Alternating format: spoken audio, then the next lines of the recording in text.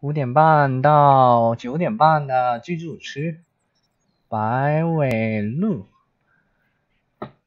还挺近的，我就直接过去那边，那就会比较容易的找到他们的存在，就不用追踪啊，找很久很久，因为这个点是我以前探索到的嘛。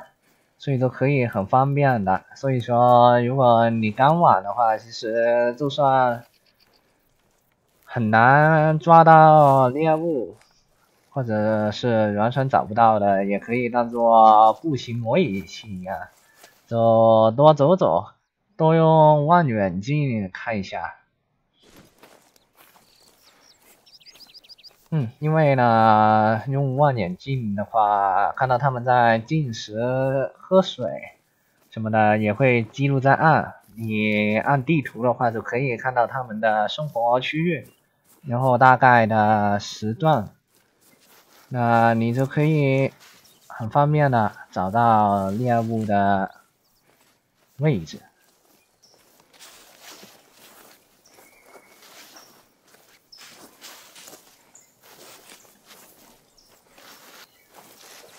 这里就先慎重一点，慢慢的走。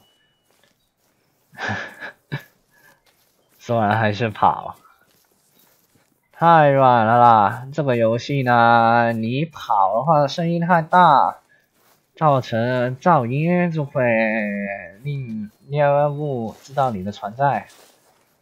但是你不跑的话，就是用走的，还是感觉很慢。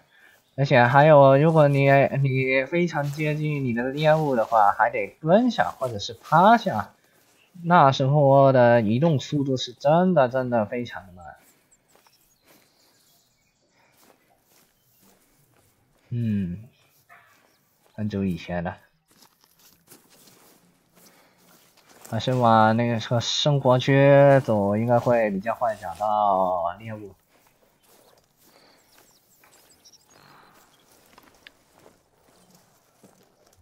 听到警告的声音就立马停下，哈，找到。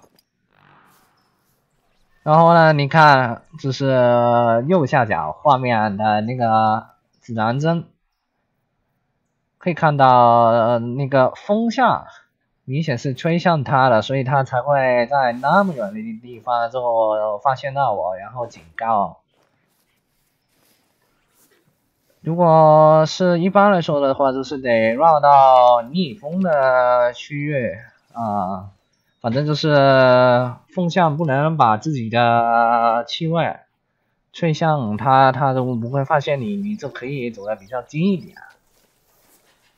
但是嘛，嗯，其实还是挺麻烦的，毕竟如果你绕一大圈的话，说不定连人家在什么位置都都。搞混了，所以游戏嘛，我们就先试试看，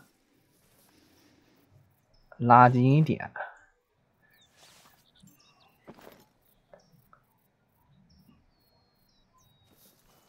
好难看清楚啊，真是。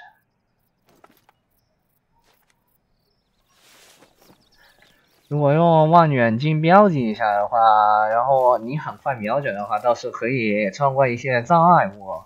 可以直接打到他的是，嗯，来吧，看到，再来一发，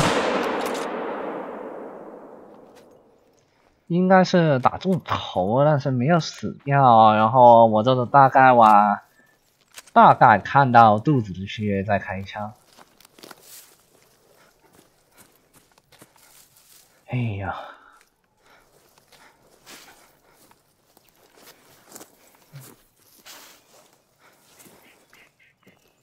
致命伤害是爆头了吗？但是爆头不是应该一枪死吗？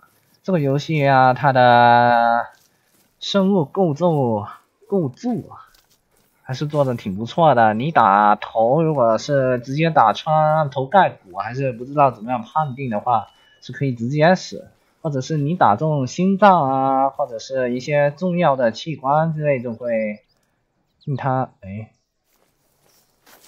去哪？怎么没有了蓝色的标记？往前走一下。果然，有时候就是会这样，突然就找不到，而且，哎，就在前面，就在前面，而且有的时候他还会往回走，搞得混乱。哎，我操，有没有搞错？打中头，但是这个可能打的比较边缘的位置，所以才四个 percent。